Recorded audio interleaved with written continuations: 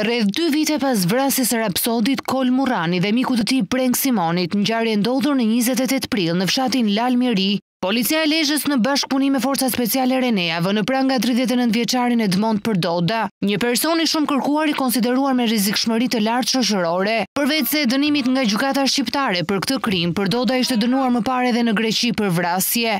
Afro! Afro! Afro! Këto janë momentet kur Edmond Përdoda vihet në pranga nga forcat e policisë së Lezhës dhe Reneas në banesën e tij në Lalm të Lezhës. Mbi bazën e informacioneve për vendndodhjen e të shumëkërkuarit, policia ndërhyri në banesën e Edmond Përdodës. Pas thirrjeve të përsëritura, tridhjetë e nëntë vjeçari u dorëzua për t'u prangosur nga forcat policore.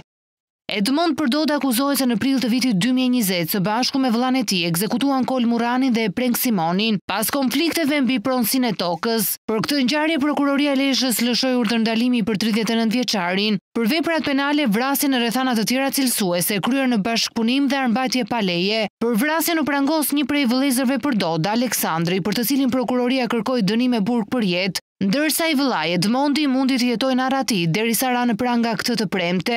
Gjatë kontrollit në banesën e tridhjetë e nëntë vjeçarit, policia gjeti një armë zjarri kallashnikov, municion luftarak dhe një sasi baruti.